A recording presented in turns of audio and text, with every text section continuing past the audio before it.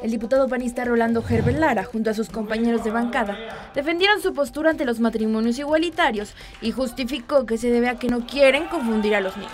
Aquí lo que no queremos es que socialmente nuestra sociedad, nuestros niños, se confundan en lo que es un matrimonio, porque matrimonio es de matriz.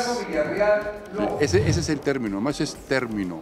O sea, no estoy en, contra ni soy homofónico, nada de esas cosas. Eso no, no cabe en mí, porque tengo muchos amigos de esta comunidad, muchos amigos, primos y sobrinos y todo. O sea, sería incongruente.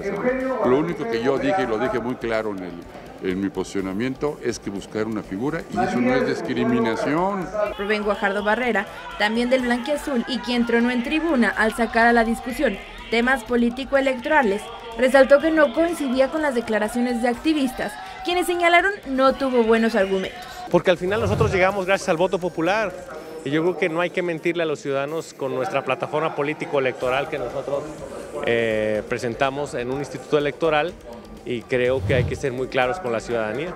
A pesar de que él no fue electo por los ciudadanos, ya que es un diputado plurinominal, además de que aseguró que la mitad de la población continúa en contra de este tema. Por su parte, el prista Héctor Mauricio Ramírez Conishi señaló que él fue en contra ya que no se le dio la oportunidad de socializar el tema dentro de su distrito. Para poder tomar una decisión tan importante, este, en función a lo, yo creo es, es inalienable el hecho de que ya la Constitución y la Suprema Corte tiene un claro posicionamiento sobre este tema. Es una de las razones por las cuales eh, emití mi voto, es eh, tomando en cuenta a las personas que me dieron su confianza el pasado primero de julio y que yo los tengo que representar.